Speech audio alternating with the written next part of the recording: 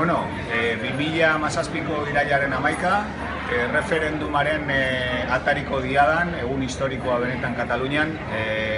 Martxelo, nabaritza alda, historiko tasun hori.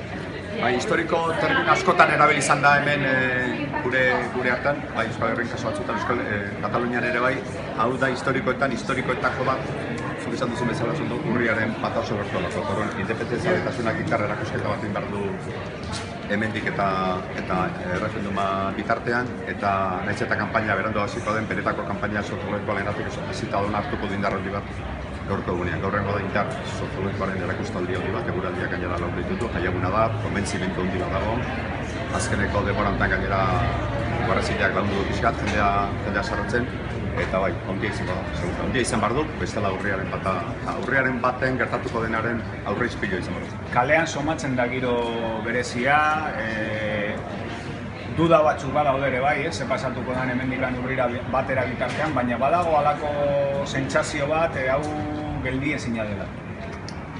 Bai, gaur txak izan bat izan den, milioi terdia edo ingur hortan ibiliko dira, jendazko dengo da, eta horiek konbentzitu da, hori daude konbentzitu da, hau dela bere trena, bere bizitzan,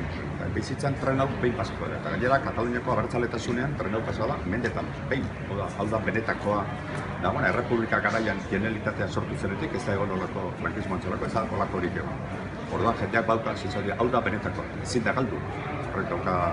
bere zailtasun intrinsekoa oso, oso larria, zoren txaitu nahi eskerrako bat hori izketan da zaute bai, baina resistitu behar dugu ez dugu resistitzen, baina, eta gero ikusgarria da, adineko jendea, urte askotan katalanismoan egon duen jendea hori eta katalun izkuntza bultzatzen da bere berrea bultzatzen, horrentxe ikusten dutela bere adinaren bukaeran, ja bere, bere tunelaren edo bere bizitzaren bukaeran hartu izan da, nola, nola urron beste urtetan amestu duten hori ukitu hau da prozesua. Hau, ez, hau ondo atrako da, zailtasun guztiekin, ez ondo ateratzen, beste urte askotan ez Garbi dagona da Estatu Espainola ere ez dela geldirik egongo, e, baina mm, jakina neurri kortzitiboak Euskal Herrian adibidez erabili izan dituenak makina bat aldiz, Katalunian ez dute balio, ez dakit lortuko duten e, bestelako neurririk erabiltzea hemengo, hemengo prozesua deskarrilatzeko. Daukate beldurraren estrategia e, diseinatuta, beldur poliziala, eta gero inhabilitazio eta zigor eta kaso batzutan ari dire jasaten ondasunen galeraren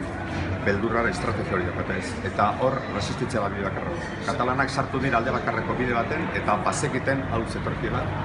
asko eta asko bazekiten zetorkiela, eta hori asumitu behar dute, bestela atzera ingo dute, ezin dute atzera egin, dut edalako konferentzua ere herriarekin, hor horrean diren, horri diren, milioi terdirekin, beldurra eta gero honi uste Espainiako gobernuak neurtuko dula erabil e, gorkeriaren edo itar polizialaren erabilera zenbatekoa ingo du, neurtu ingo du, ez du ingo, e, Barcelona zertatuko den, Barcelona azkenean Barcelona erabiltzen modu parte hartzea edo bere lokalak ustea eta udala implikatzea antolaketan modu pasiboan bali bada, baina implikatzea antolaketan zein guten Barcelonarekin, inhabilitatu dutek Barcelonako alkatean. Barcelona da Europako hiri izan guratzu eta bat, orduan... Bueno, adako lako orain direz du argitu zere egingo duen, ez da? Bada olako du da zen gote duen, behar daten gabe txostenak eskatzen, nahi da asko luzatzen e, erabakia, ez dakiu nahi duen erabakia, erabaki hartu bezperatan, eta orduan... E, baina, bueno, bera konstiente da, asko laguntzen diola profesuari, e, profesorekin bat egin da, ofizialki bat egin da, bere baliabideak eta azpeditura jarri da, eta kalte egiten diola profesuari, mesede handiago egiten dio, parte hartuta, kalte egiten diona baino, ez hartu eta bueno, garbi da ona da, eh, bukatzeko, eh, zaila izango dutela nola bai, ze Espainiako gobernuak tenga bezaten nahi da, ez dala referendumik egongo, zaila izango dute jendeak ez boskatzen egun. Egun hortan egingo direla autosontziak, kartoizko, metrakilakozko, edo partido flexianindako, edo zapor boltso batzuk, Ehen hori da botoak gaur mundu zikin pribatzitu etxean, botoak zen nola bitzan obsesionatuta horren botoekin. Botok badaude ja kalean da jendekin pribatu ditu. Ehen dira hilarak eta ehen dira zerrentak. Eta zerrentak zolin baude, osatu dira zerrentak a posteriori bota mantuten registratu. Jende asko nengo da bozkatzen,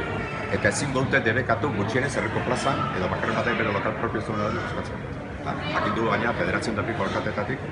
zeriun da piko, ja esan dutela, ofizialki hartu dutela parte, erreferendum legal bat bali bezala. Haientzako legala delako, Kataloniako parlamentek onartu duen legalitate e, guarda sol berri honekin ez.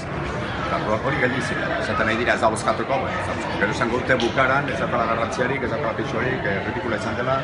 eta tolosako nioteritako patxaka izan dela. baina hori egongo dela jendea bozkatzen hori seguro. Jendeak daukalako du. Eskerrik asko, eta bueno, ba, berriak jarraituko du informatzen bai gaur, eta bai urria bitarteko denbora honetan, urria bata bitarteko denbora honetan, eta hoxe, ba, urrengo